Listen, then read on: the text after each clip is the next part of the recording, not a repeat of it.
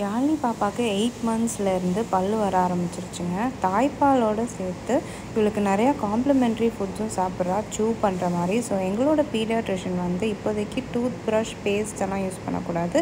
Silicon brush தான் use பண்ணணும்னு சொல்லியிருந்தாரு. ஸோ அந்த வகையில் அமேசானில் லிட்டில் லூ அப்படிங்கிற ஃபிங்கர் டூத் ப்ரஷ் தான் நான் வாங்கியிருந்தேன்.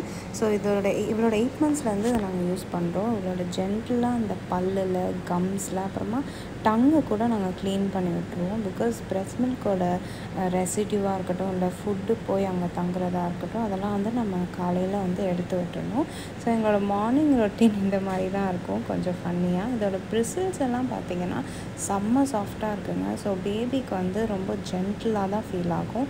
இப்போ என்னோடய பேபிக்கு வந்து கீழே ரெண்டு பல் மட்டும் இல்லாமல் மேலேயும் ரெண்டு வந்துடுச்சு ஸோ எங்களுக்கு வந்து இது ரொம்ப யூஸ்ஃபுல்லாக இருக்குது இது வந்து எனக்கு டூ ஹண்ட்ரட் ருபீஸ்க்கு ரெண்டு பேக் கிடச்சிதுங்க.